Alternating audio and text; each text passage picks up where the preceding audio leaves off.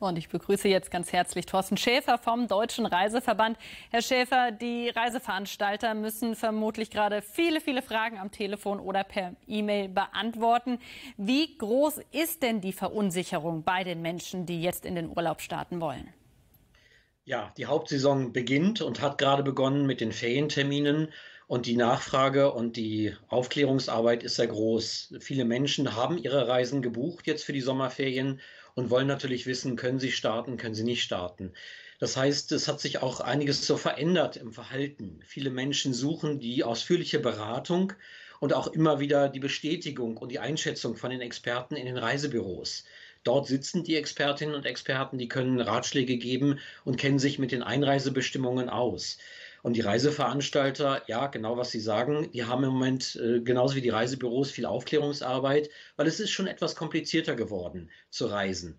Nichtsdestotrotz ist es einfach so, dass äh, alle Umfragen zeigen und auch die Buchungsauswertungen äh, jetzt, dass die Menschen raus wollen, in den Sommerferien Abstand haben wollen von den Einschränkungen von Corona und wollen halt einfach Kraft schöpfen für den Arbeitsalltag, für die neuen Herausforderungen. Es ist halt äh, Entschuldigung, dass ich Sie jetzt unterbreche. Ja. Raus wollen ist das eine. Jetzt verbreitet sich die Delta-Variante ähm, in Europa. Gibt es denn da jetzt schon viele Umbuchungen vielleicht oder eine Stornierungswelle oder ähm, ja, buchen die Deutschen fleißig weiter? Ja, also wenn man das mal äh, sich anschaut, was sind denn die bevorzugten Reiseziele im Moment? Die Deutschen setzen auf A Deutschland und zweitens auf die Flugpauschalreise ans Mittelmeer, Spanien, Griechenland, Türkei. Das sind die großen Ziele, die im Moment gebucht sind und gebucht werden. Und es hat sich jetzt an Portugal gezeigt. Sobald die Situation dynamisch ist und sich etwas äh, verändert, reagieren die Reiseveranstalter. Wenn die Kunden eine Pauschalreise gebucht haben, sind sie hier auf der sicheren Seite, denn der Reiseveranstalter kümmert sich darum, dass die Gäste, wenn sie es dann wünschen, rechtzeitig äh, zurück können, äh, noch äh, vor Beginn der Quarantäne etwa, dass man vorzeitig ausreisen kann. Sie organisieren vorzeitige Rückflüge oder aber ähm, die Menschen, die noch nicht gereist sind, können dann kostenfrei umbuchen oder stornieren. Das heißt, das, ist, äh, das hat sich auch verändert. Die Menschen suchen Absicherung und Flexibilität. Absicherung durch die Pauschalreise, weil dann, wenn sich die Situation ändert, ist man bei einer Pauschalreise rechtlich deutlich besser abgesichert und der Kunde kann sicher sein, dass der Reiseveranstalter an seiner Seite ist und sich kümmert. Das wollte ich jetzt äh, gerade fragen, inwieweit tragen die Urlauber denn die Risiken da alleine? Zum Beispiel, wenn der Urlaub vorzeitig abgebrochen werden muss, weil jetzt doch äh, das Land plötzlich ein Virusvariantengebiet ist.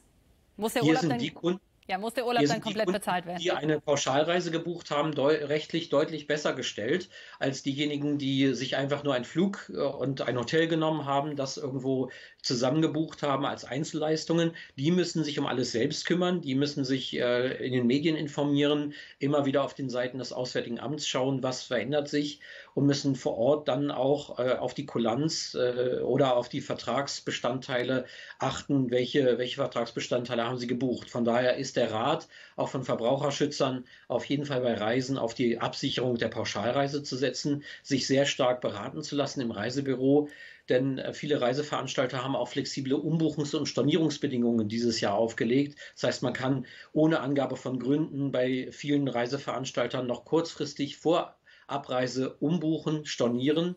Viele Veranstalter haben auch sogenannte Covid-Absicherungen eingeschlossen oder man kann sie hinzubuchen. Das heißt, im Falle einer Erkrankung vor Ort übernimmt der Reiseveranstalter zusätzliche Kosten fürs Hotel oder für die Quarantäne.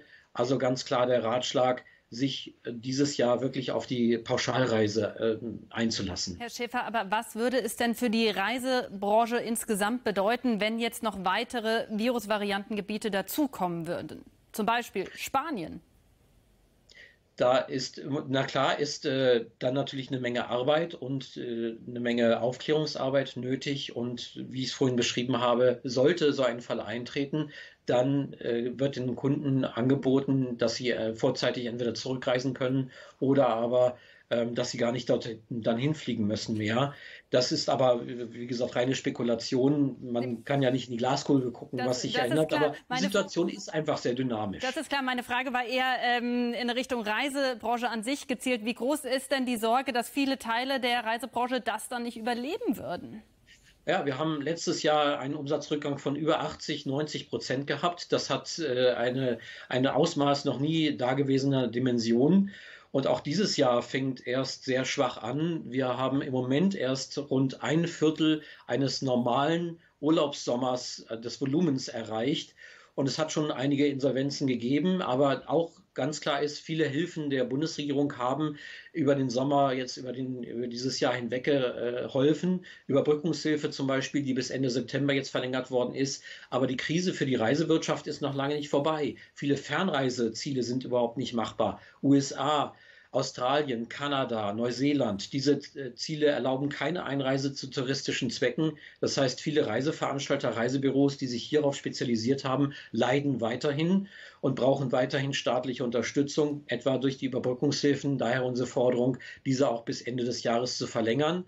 Die Reisewirtschaft stellt über drei Millionen Arbeitsplätze in Deutschland, ist damit größer als die Automobilindustrie. 100.000 Beschäftigte bei Reisebüros und Reiseveranstaltern. Wie viel im Endeffekt dann davon übrig bleiben, muss man dann sehen. Aber wir rechnen erst mit einer Erholung frühestens im nächsten oder im übernächsten Jahr. Sagt Thorsten Schäfer vom Deutschen Reiseverband. Ich bedanke mich ganz herzlich. Sehr gerne.